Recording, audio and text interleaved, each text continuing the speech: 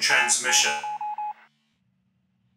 In my last video, the atheist experience has removed my comments from their video.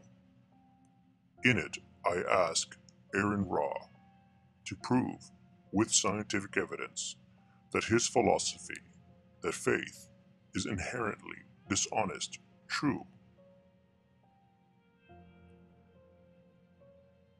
My comments were removed.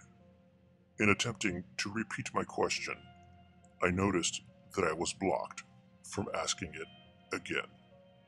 Here is the evidence.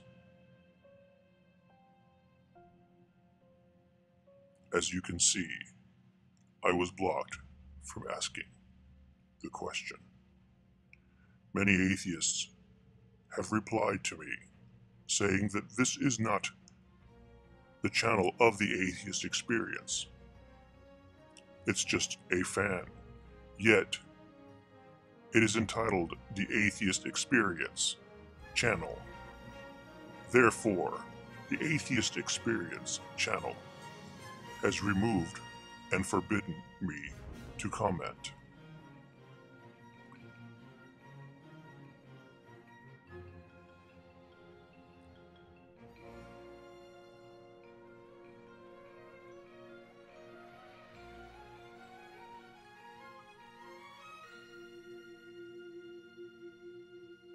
What you will see next are atheists who reply to my video, whom I allow.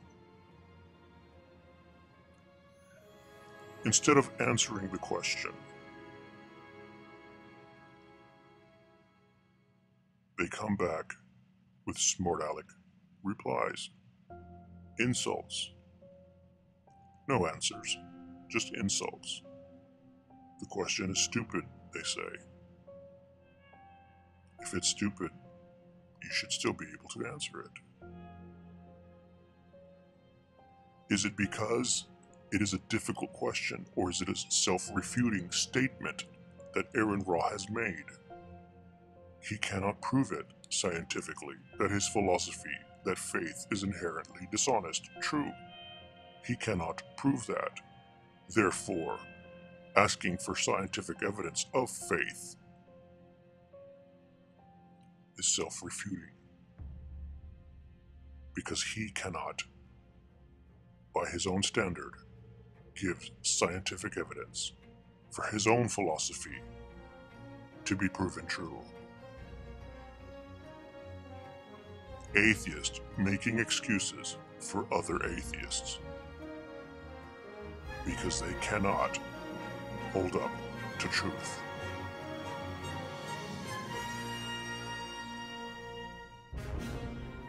In another video, I expose here how atheists are not very intellectual.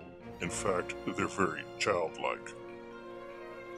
They cannot have an intellectual conversation, most that I know of. Here is the evidence.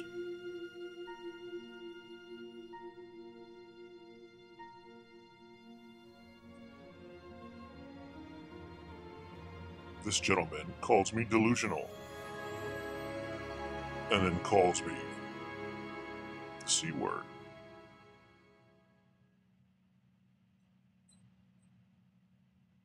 Atheists, it's time to stop running. Answer the questions. Be the brights that you claim to be. Be the intellectuals you claim to be. Don't run. Answer the question. AronRa, what scientific evidence do you have that proves your philosophy that faith is inherently dishonest true?